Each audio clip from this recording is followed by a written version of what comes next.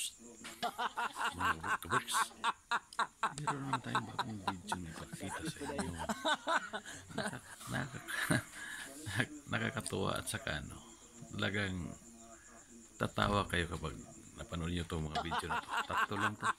Kaya panoorin hanggang sa dulo para mawala yung mga problema nyo.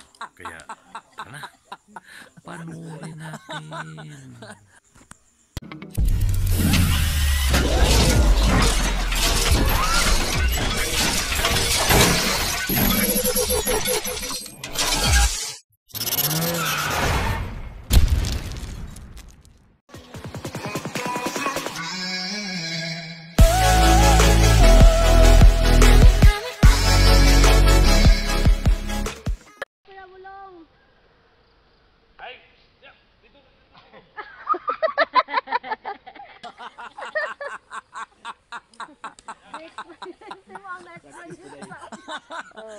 Go!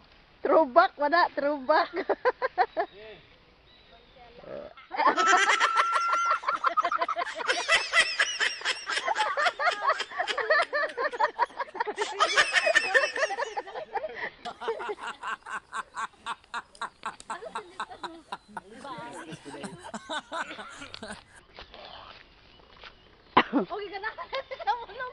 Okay ka na.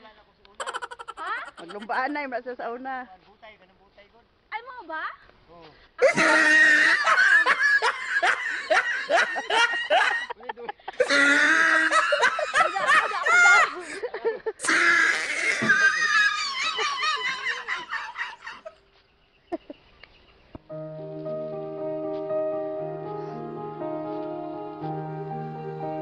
Katong butay kay Sinaw.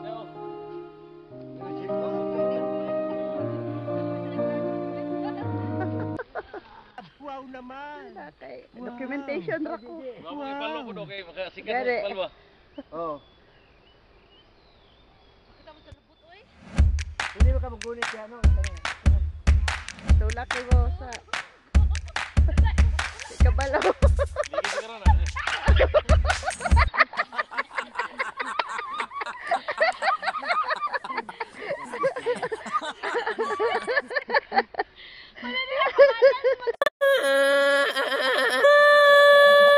Nananawagan po ako dyan sa gobyerno natin sa Pilipinas, lalong-lalo na po kay Pangulong Duterte.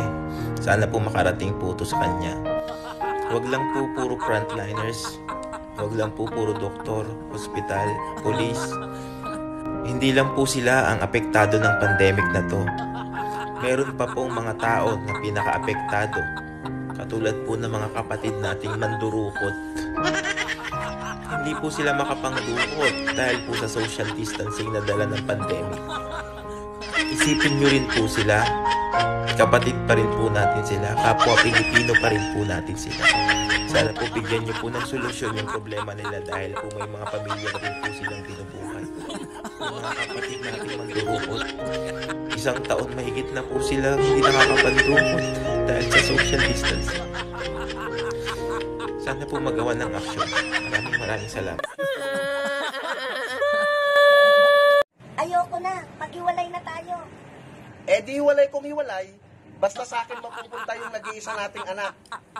Hindi pwede. Dapat sa akin mapunta yan. Ako ang naghihirap dyan. Nung pinanganak ko yan, yung isang pa ako nasa hukay.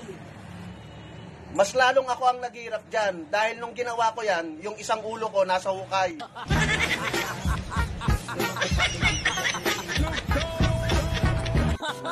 Oh my